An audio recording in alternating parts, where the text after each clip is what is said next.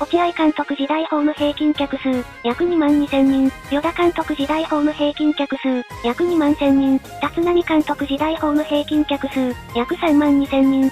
これは立浪の評価も急上昇して、喜びを隠せない関係者も現れますわ。中日には、ワクワク感、があるとはガチだったな。うせやろ？落合時代は良かった。これはワクワク感の中日。満たされてる証拠やね。水増しなしで普通に入ってるからな。洗脳されてるわ。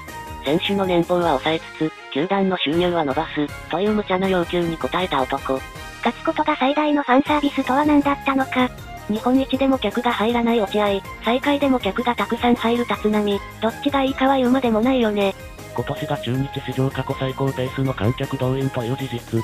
こんなに儲かってるのなら、今年の秋には随分大型補強するんやろな。立浪野球はミステリアスで目が離せないんや。マジでなんてなん。昔と違って客席埋まってるし、バンドの飲食店やグッズ売り上げも、間違いなく増えてるやろ。弱いと年俸上げなくていいから、球団的にはマジで最強なんか。実際に球場行くと明らかにファンは増えてるし、岡林とかのユニは増えてるわ。チームは弱いままに、全盛期並みの観客動員にしろってミッション達成するの、有能すぎん。球団も嬉しいやろ。選手の年俸を抑えれて観客が増えるんやから。時代が立浪和義に追いついてきたな。勝ち負けは二の次や、ドラゴンズの未来を見せてくれてるだけで応援したくなる、3年後が楽しみ。